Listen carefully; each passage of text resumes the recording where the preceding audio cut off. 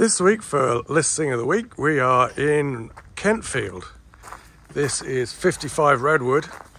Last week we were at a very nicely redone house in Fairfax.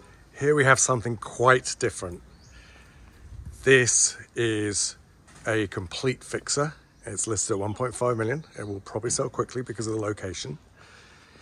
You have, uh, I'm starting out the outside here with your outdoor fireplace, and it looks like a chicken coop. Uh, enclosed porch,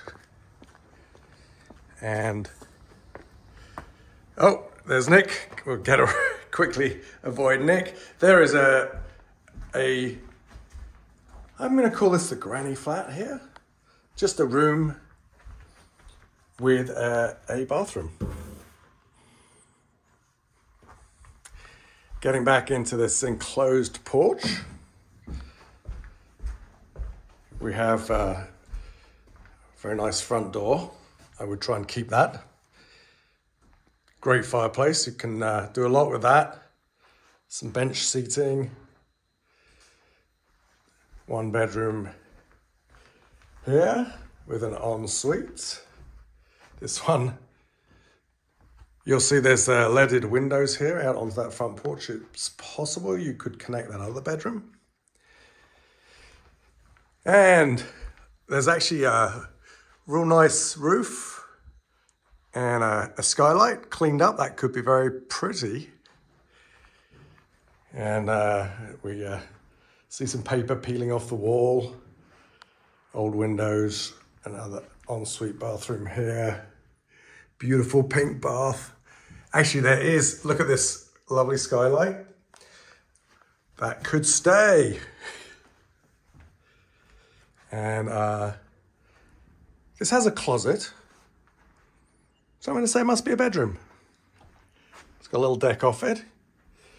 And a typical old fashioned kitchen here with a bright red sink. Uh, and here we have the dining room. This is kind of interesting. I like this. So back in the day, there were no cans, so they did this to get a little bit of extra lighting. So that's most of the house. What's kind of interesting is out the back porch, you'll see, oh, I've been, if I can get out, I can't get out. Okay.